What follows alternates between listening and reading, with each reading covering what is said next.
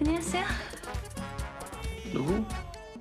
아, 전정호 작가님 맞으시죠? 저는 그 서한대 서 교수님 소개로 왔습니다. 예술가들한테 있어서 이 작업실은 영혼의 방입니다.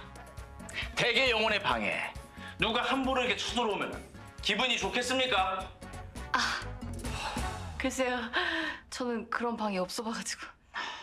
아, 그보다 작업 의뢰를 좀 하고 싶은데. 이런 걸 만들고 싶거든요. 크기는 한 나는 예술을 모르는 사람하고 작품 얘기를 하고 싶지가 않습니다. 나가세요. 작가님?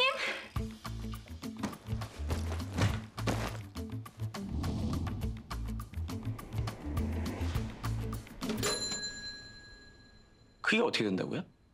한...